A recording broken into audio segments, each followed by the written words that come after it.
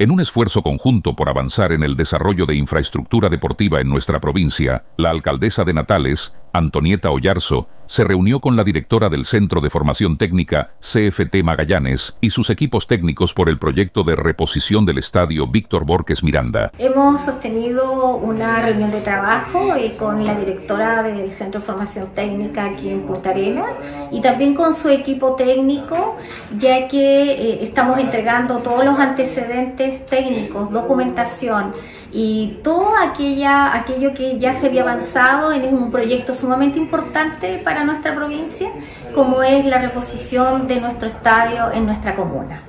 Es de conocimiento público que eh, fue iniciativa de esta administración el poder tener una inversión en nuestro estadio que permitiera mejorar sus condiciones de infraestructura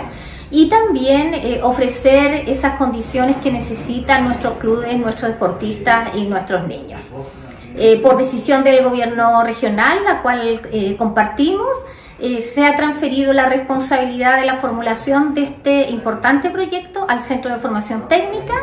En las semanas que nos quedan vamos a seguir transfiriendo la información y participando de la mesa que ellos van a convocar y por supuesto confiar en la expertise y en la responsabilidad y la calidad de lo que va a entregar el Centro de Formación Técnica a través de esta formulación.